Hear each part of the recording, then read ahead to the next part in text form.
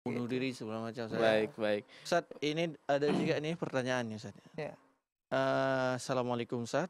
Bagaimana jika istri ridho nih, suami nikah lagi? Mungkin karena ya, tapi karena si istri tidak cinta sama suami lagi Ustaz. Iya. Eh, karena kalau cerai sayang, model eh, istri eh, model suaminya ini super baik ini. Apakah ada pahala untuk istri ini Ustaz? Ya jelas. Tapi kita angkat telepon dulu, baik, baik. Iya. Angkat, halo Assalamualaikum. Halo, Assalamualaikum. Waalaikumsalam warahmatullahi wabarakatuh. Baik. Ya, dengan siapa di mana? Dengan Ibu Fatma di Kepulauan Meranti. Iya, Ya, silakan Ibu Fatma. Assalamualaikum warahmatullahi wabarakatuh. Waalaikumsalam warahmatullahi wabarakatuh.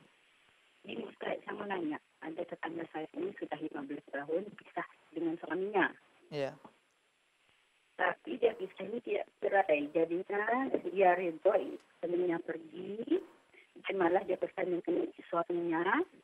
Kalau abang pergi, katanya yang suka berbuat maksiat kalau ada uh, sampai jodohnya kawin. Hmm.